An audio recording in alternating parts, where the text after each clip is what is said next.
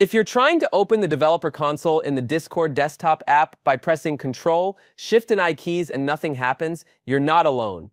In this video, I'll show you exactly how to enable the developer console on Discord. First of all, make sure Discord is completely closed by right-clicking its icon in the taskbar and selecting Quit Discords. After that, click on the Start menu and search for the Run app. When it opens, type in the following path and hit OK.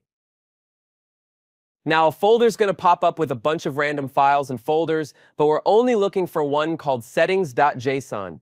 Just right-click it, open it with Notepad, and then delete everything that's in there. After that, paste in the code I've put in the description. All it does is tell Discord to turn on the developer tools. Once you've done that, hit save.